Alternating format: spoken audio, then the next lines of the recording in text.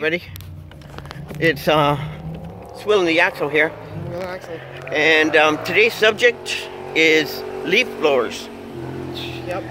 And um, what did you say a while ago about the Oh. leaf blower? I was saying in Wheel that um, if you think about it, if you think about one tool, it, It, represents like symbol that could symbolize oppression.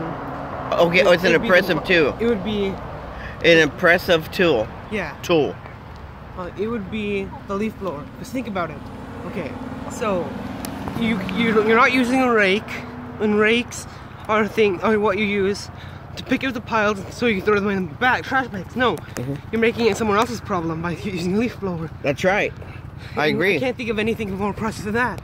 I can just imagine the imagery of someone living on top of a hill and using leaf blower so everyone below the hill gets their their garbage. You're absolutely right there, Axle, and I'm going to tell you a story about that stuff. I, me and my dad, we used to uh, mow lawns. We used to cut grass for. Um, my dad would work his 40 hours at Kaiser Steel, and then we on the weekends we would go and he'd. Um, I'd go with them with like nine or 10 maybe or 12, 12 from nine to 12 maybe.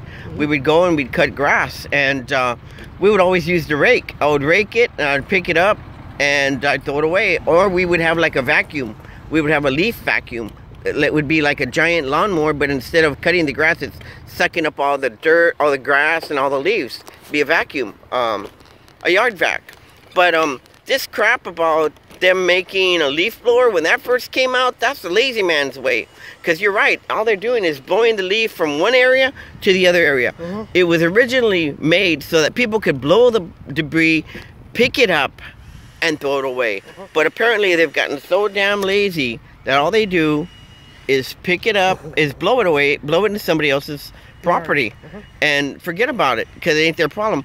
Um, you know, when I used to live in Purdue, we had that problem with um, my neighbors, um, gardeners. They would blow all their crap to my yard, and I accosted them, and I said, "Hey, what the hell do you think you're doing?" You know, we almost we almost went to blows about that, but um, you know, we, we didn't. Uh, I, I just threw it back in that damn neighbor's yard. I said, "Hell with you," you know. I just threw it back, and then uh-uh, because I used to sweep, cut my grass, pick up my grass, sweep it, rake it. None of this leaf blower crap. Mhm. It's a lazy man's thing. And I'm sorry if you have one. I'm sorry. It is what it is, Mhm. You know, not trying to judge anybody here, but it is what it is. It makes things all it okay. You All know, it it makes things faster. I'll give them that. faster for who? Because Exactly, though. But I in- mean, in the end, it- you're still going. You're like, it's noisy. It's In um, the end, it's not better for anybody. No, in in the end, you're just throwing it to your neighbor's yard, and it's gonna kick your butt eventually. Not today, maybe tomorrow Uh-huh. when he gets out of a wheelchair or something. but um, yeah, man, just use the old broom, the old long, the brooms, the push brooms. Uh-huh. It's called a push broom. Do you guys remember them? They're push your broom. Get a little scooper, pick them up, and that's it. You know what I'm saying? Job done.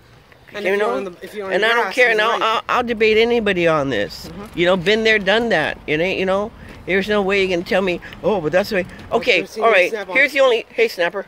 Um. Anyway, this is the only way where I think that an air blower is actually of good use. Is when you have a lot of debris inside rocks, or you have like a um, a, a garden, and it, it was got a lot of cactus or a lot of flower, not a flowers because it's gonna ruin your flowers, but a lot of hard hard cactus or cacti, a lot of a, a lot of landscaping that's got a lot of um, intricate um, areas that debris gets into. Well, then I agree. Shoot it out. What's going on? Holmes? shoot it out. Then Shoot it out and um, get it out of there, and then go back to the old broom and rake thing. You know, Mhm. you know they have some good quality brooms out there now. You know, um, and uh, you can you can do it. Si se puede. Uh-huh. But uh, anyway, um, that's our topic for today. Yeah, And, look, you know, today the wheel turned 60. yeah, today's my birthday, so um, that was my topic for today. Is that I say bring back the broom, bring back the broom. You know, Uh-huh. and uh, that's the way it is. What happens when you when you run out of electricity or you don't have no more gasoline in that blower? Go you back know, to the old days. yeah, it's the old days, man. Just like paper and pencil. But uh, other than that, that's our topic, and um, we're sticking to it. Uh-huh. You know what we say here. Adios, gato. Adios, Gotham.